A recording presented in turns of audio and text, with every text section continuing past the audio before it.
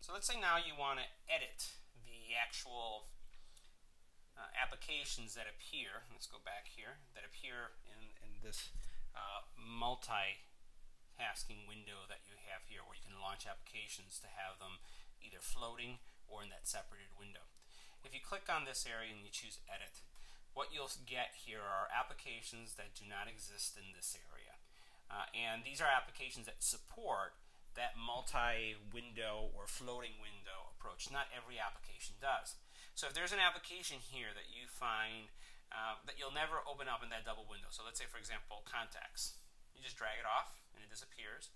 E-meetings, I'll just drag it off. You notice I'm, I'm right now personalizing the uh, this area for, for my use. And then I can say, you know what, Play Books is something that I would use, so I'll just drag that over and put that right there. And what I can do is say, you know what, I probably will not be using, uh, let's say, eh, we'll take Facebook and we'll drag it off.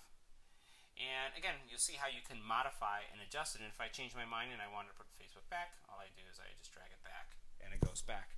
So this is how um, you would edit uh, the applications. You can even edit the order. So if I want to change the order, I want to put instead of putting email or let's say I want uh, instead of S Finder here, I want it here. All you got to do is drag and drop, and then as soon as you hit done, it's uh, it will remember it, and the next time you come in here, uh, that order will be retained.